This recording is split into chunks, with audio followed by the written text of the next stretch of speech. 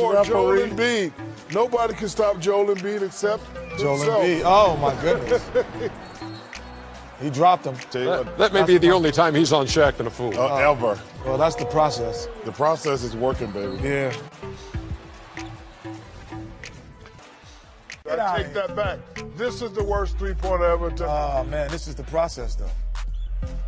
Oh, Meadowlark Lemon. oh man, he got it off. Go ahead, Kenny. Hey, I'm not gonna say that. That was good court awareness though. Number two, Joel Embiid.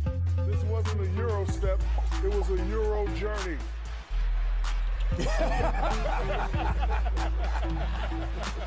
Oh, come on, Joe. Joe. Oh, Transcontinental. Oh my God. He Yes. cheated the process and forgot to Oh, take this the tag off so his sweet. shorts. He double dribbled there, and then watch this. He just look at this. You look, But look at the watch. tag on his It never shorts. went in. Watch, it never goes in, and then he keeps running. Uh, Man, he uh, still got the tag. Uh, no, no, my God. Uh. What? Did, wait, did they have to buy those shorts? like, what do you mean? They, they shouldn't even have the tag on them.